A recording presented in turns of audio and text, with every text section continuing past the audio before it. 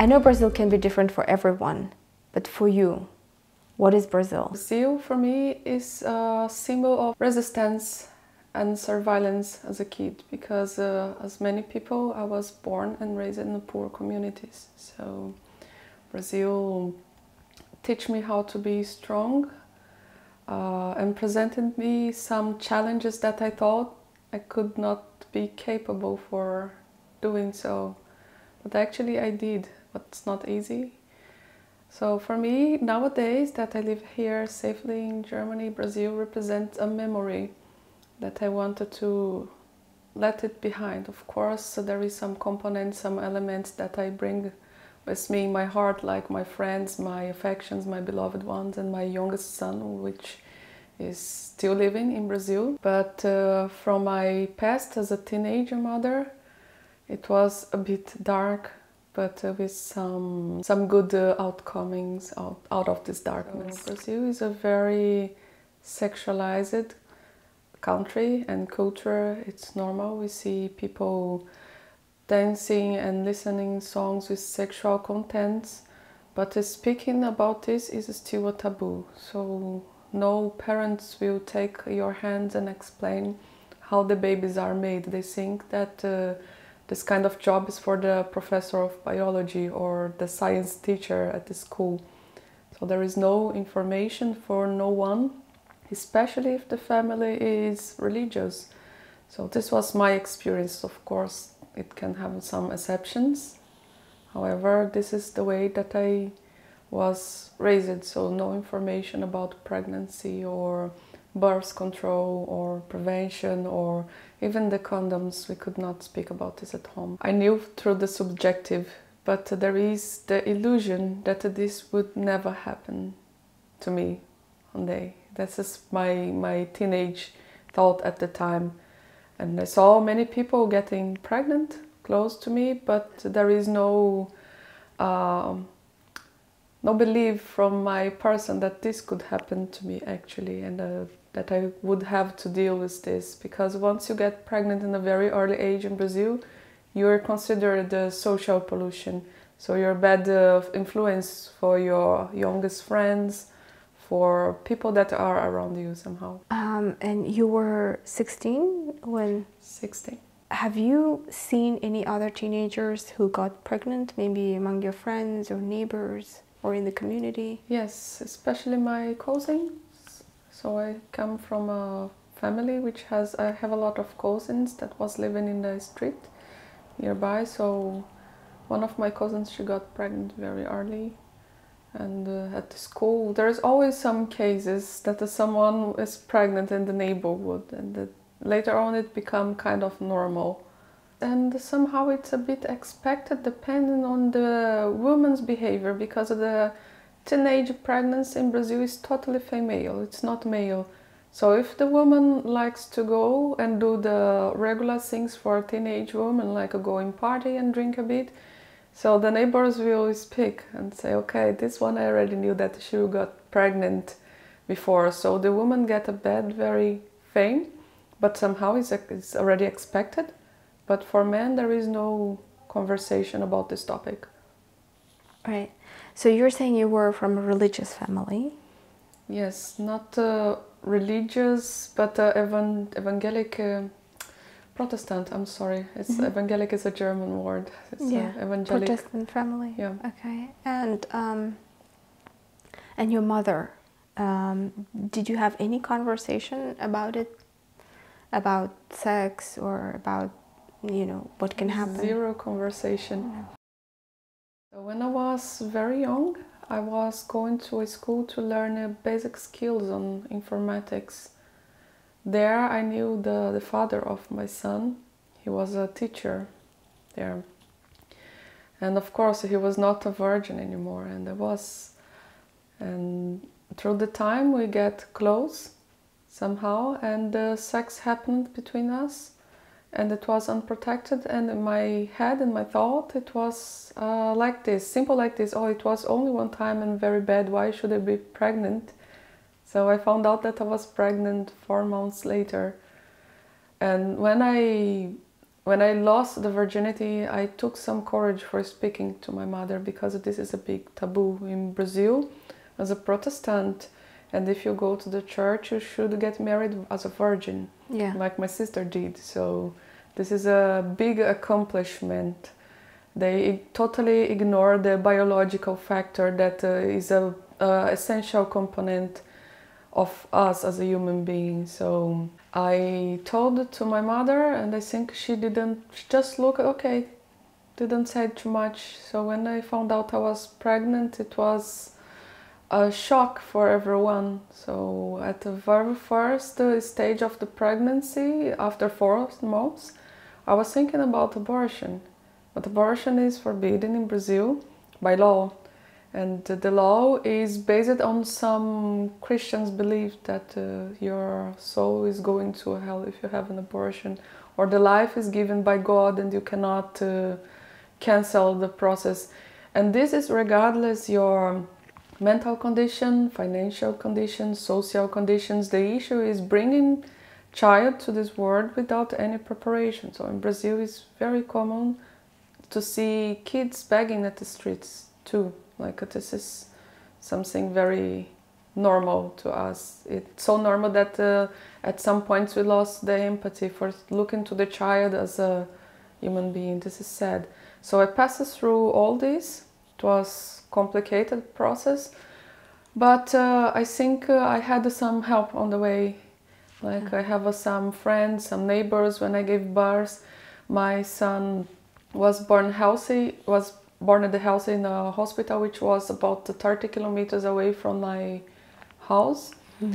But I had the help from my my brother, who was working as a um, a bouncer at the the hospital, and moreover the mother of a friend from childhood. She was a nutritionist at the hospital. She was going there from time to time to visit me. So it was complicated process. However, always had someone for helping me, and uh, by by any mistake, it was not people from family. It was always friend around that give me some support for uh, make me feel human again.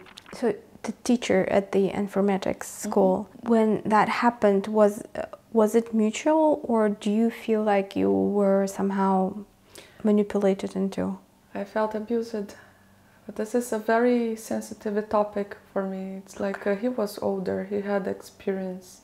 I was just a, a young girl, 15 years old. And nowadays he doesn't speak to my son. I raised him alone and I did everything alone. So for leaving the country, when we left for the first time, my son was 12 years old. Yet I needed his signature, so I have to go against him on court. So for having the right for bring my son to Taiwan, at the very first moment he tried to forbid it because in Brazil you have to pay money for the kids if you're a man, and I was searching for that after 10 years. So if he could not, my mentality was at that, at that time, if he could not support my son emotionally, he has to do financially. This is the minimum that he can do. So I searched for him, and there is no conversation. We don't speak nowadays. I don't know where he lives, what he's doing in his life.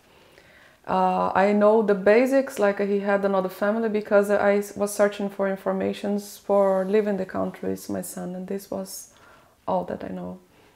Um, so did he give permission then for your to leave Brazil? It uh, has to be juridically. He did. He wanted to block my my way to Taiwan with my son. He said in the in the court process that he had some psychological troubles because I forbidden him to see the kid, which is a lie. He tried to because uh, there is money involved. So when there is money involved and people are too greedy, they don't care about uh, the main thing, which will be the child.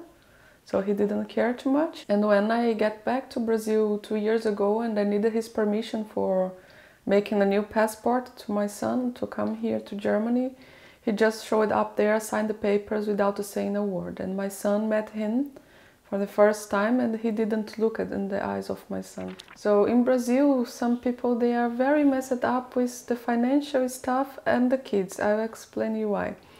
It's like if you have a couple who has some kids and the man normally has to pay some money for the woman which has the, the, the right, the legal right for raising the kids, uh, when the man do- doesn't pay the woman, normally this woman will forbidden the, the, the father for meeting the the kids. child. Yes, the child. So they connect the money with the right for seeing the child.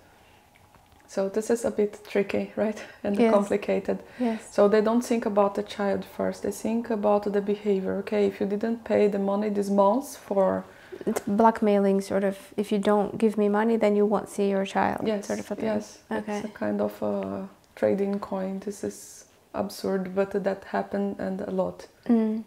When you told your mother that you know a contact happened with your teacher, um, she, for some reason, it didn't surprise her. She was not. She didn't show any emotions, and for her, it was. She was okay with that. She didn't show any emotions. She didn't. I think that normally, if I had a daughter, if she said, "Okay, I had my first sexual contact that happened," I would uh, bring her to the doctor at the very first moment. If I haven't told about the condoms and things before, that was my case. So she just showed no emotions. Did she no- ask questions? No. Any? It was like I come to you and say, I'm not a virgin anymore, and you just stay like you are and, and don't have a, any thought. She just, I, I remember that this day she just said something like, Oh, I thought that it made, it could happen, it had happened with your ex boyfriend. I believe that it's the lack of information that she had on, your, on her own. So sometimes she would speak to me like this okay, if you get pregnant, you have to take your children and uh, go by bus. So going by bus in, in, at the, our hometown city is something horrible. Like you take a, you move from a place to another by bus. It's considered a low social status. I remember she speaking like this, the only thing she spoke. Like, okay, if you get pregnant, many bad things will happen to you and uh, it was few conversation and out of context probably because she didn't had this by her own too. So Okay. she was a pregnant mother the first pregnancy her husband died when she was um, five months pregnant of my sister. So the husband died in a car accident. And then my father that she met and my father was married and she didn't know. This is what she told me so she started to save many uh, emotions or information for herself. This is what I imagine. I'm not. I cannot say 100% sure, but uh, she just uh, felt filled her heart with some resentments and fears. So some fears she would pass through my sister and I, and other ones she would kept and just observe. Since she was too busy with her life, she tried to work, to have a social life. She tried to study a bit. She finished her high school only, and I think uh, it was lack of time and intimacy too. It's like uh, the avoidant uh, attachment when you don't have the capacity to go to your children and speak about your emotions because you should be uh, strong, you should be perfect, uh, you should be an example. However, from the experiences, the children they don't learn for what you say, but what you do. My mother, she was first time a mother at 19 years old, so also a kind of teenage. Given that your mother is um, religious, when you got pregnant, how did you break it to her? I remember, I don't remember actually how I said this to her. Of course, it uh, should have a big discussion and confusion at home, but I don't remember how it was at the moment because uh, my pregnancy was so full of stress. I have eclampsia. I tried to get together with the father of my son for uh, making a family, but uh, with uh, 16, 17 years old, it would be a bit difficult to hold the responsibility of a family. So I didn't manage it, and the guy didn't manage it neither. But uh, we tried, kind of tried, but um, no, no successful things were reached. Mm. So you said that you got help from, uh, you know, your uh, your friends, your um, brother, and uh, other people, but you're not saying that you got help from your mother. That I can remember, no. She was maybe helping with the basic stuff with the house, like food, for example. this is, was basic. I think that this she was helping, but uh, when my son was born, I was 17. But in the day, my birthday of 18 years old, I got a job in the other day, so I left the house quite early too. And the friends and the, the community that was living toward me, they are helping not with uh, financial stuff. Like when I arrived from the maternity, I saw the neighbors uh, and my aunt, yeah, the one neighbor and my aunt cleaning the house, so the house could be clean for the baby because it was very simple house. There is no uh, ready walls like this one behind, us, just the bricks and a simple floor, and this can bring lot of dust. So they cleaned everything, and this is the kind of thing that my mother never would do, like cleaning the house for receiving the newborn. And when my son was uh, sick, the neighbors, the one which has a car, I asked for help. He helped me to bring it to the hospital. And if I asked a, a, a can of milk or some diapers to the baby, I could get it from the, the people around. Sometimes even closest. I had to be at the hospital after my baby was born. How long were you in the hospital? I think it was almost two and a half, two and a half months, more or less. Yes, a bit wow. Longer. Yeah because uh, it was before the pregnancy and after the pregnancy. And my son, he was born in March, and he was supposed to be born in the end of uh, April, in beginning of May. So mm-hmm. we have to make a cesarean surgery before the day, otherwise he could have some problems, and me too. Okay, so uh, they did um, C-section around what months? A week. Seven seven months ago. Um, what did you feel being pregnant at that age? Uh, frankly saying, I could not enjoy because I was feeling very shy. I feel ashamed for being pregnant. It's like something was done to me and I take the blame, you know, for going outside and uh, for being with friends. So most of the time I was isolated on my own spaceship, on my little world, doing my stuff. I finished my, I managed to finish the high school, but uh, even going to the school in the very last year, I gave up because uh, my my feet were too swollen. I was too big because of the eclampsia already, so I was feeling bad. And but the main component at that time for for going back to the school was feeling shy. So it was few time that I remember to enjoying actually the pregnancy, the belly, I remember one day before my son was born, I remember the, the doctor come to the room and say, okay, tomorrow we will perform a cesarean section on you. And then there is the, the um, nurse, she comes with some cups of water. And by accident, she let one felt on the ground. And when she felt on the ground, I felt Davi moving in my belly in a way that she got he got scared. It was when I have the notion, oh, there is someone here. I have to take care of a child.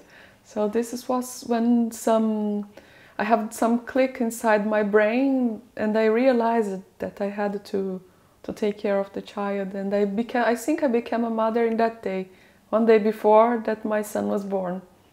Wow. You're saying you were um, sort of embarrassed to go to school to see when so when um, your friends, schoolmates, and you know in your neighborhood, people found out that you were pregnant.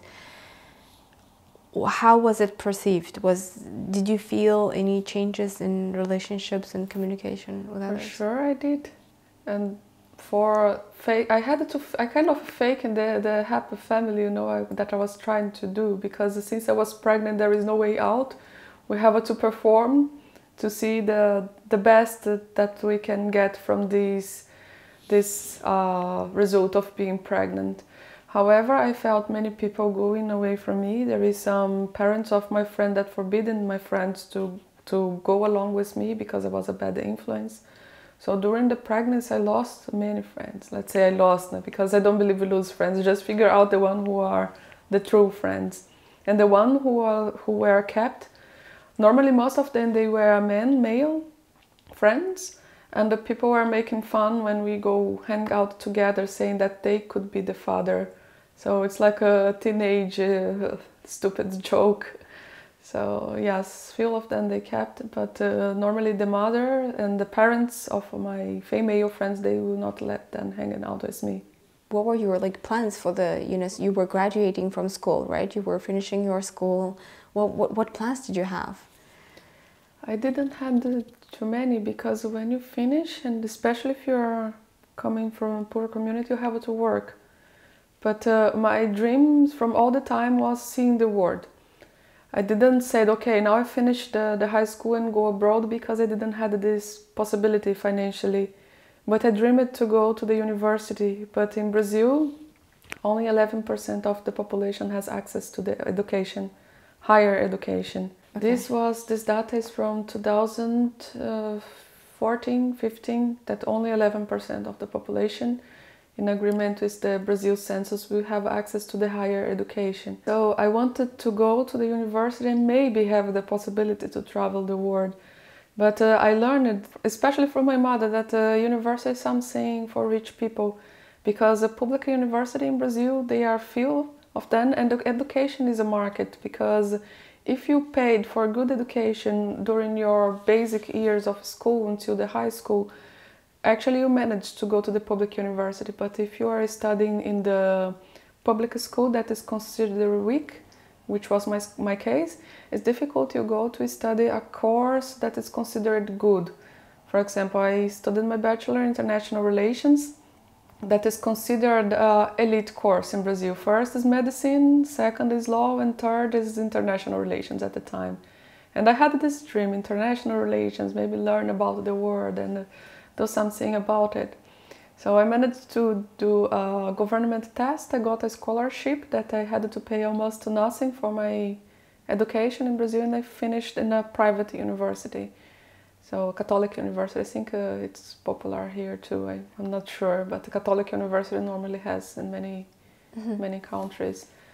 So I managed to finish my bachelor, and uh, before I go into the, the bachelor, I had no idea how life would go, how I could uh, develop myself, or how I could uh, have some dreams that actually was reachable. Because everything that was around me, or which I dreamed about, the phrase that is echoing in my head until nowadays is, "This is for rich people," or "Who do you think you are?" This is for rich people. That's what I I learned. So I had to overcome this kind of thoughts in order to feel myself capable enough for saying, okay, you deserve to go to, to the university. This could, could be considered the basic stuff because uh, in Brazil it's a bit different. Here in Germany, if you don't want to go to the university, you have the technical education. You learn how to cut the hair, how to fix the car. And in Brazil, no there is no such a thing. You go, you are in the hands of gods, like people say.